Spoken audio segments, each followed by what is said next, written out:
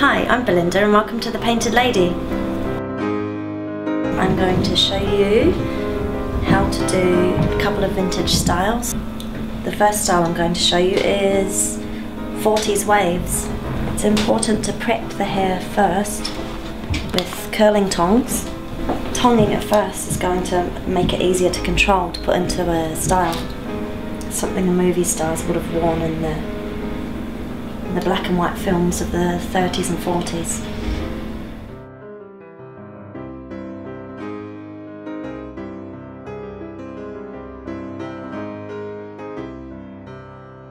So then we remove all of our um, pins, spray again just so we can get all the ends nice and lacquered.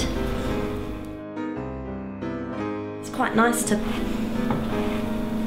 brush the hair back off the face and have it coming around. Neater. It's going to add some back combing to give some height through the front and encourage the wave to come down Veronica Lake style. Hairspray. And that's it.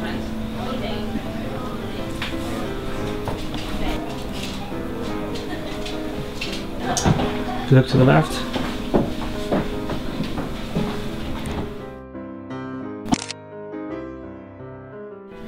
Now we're going to do a second style for you. It's called victory rolls. Um, because we've already prepped the hair, it's very easy to create victory rolls.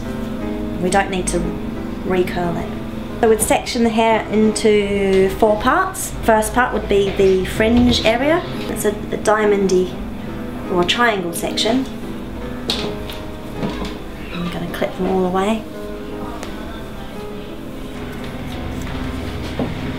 the back, the two sides and the fringe. And begin by taking vertical sections from the back of the, the side section.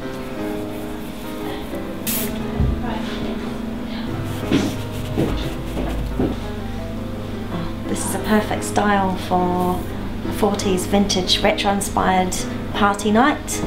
Uh, this is my signature style the Painted Lady. We probably do this the most, this is the most popular hairstyle we have. These are quite fun hairstyles because you can play around with the rolls and position them differently and there we go.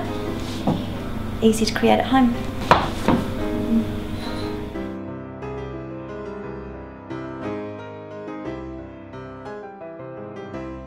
Thanks for coming down today. Pop in anytime, we'd love to see you.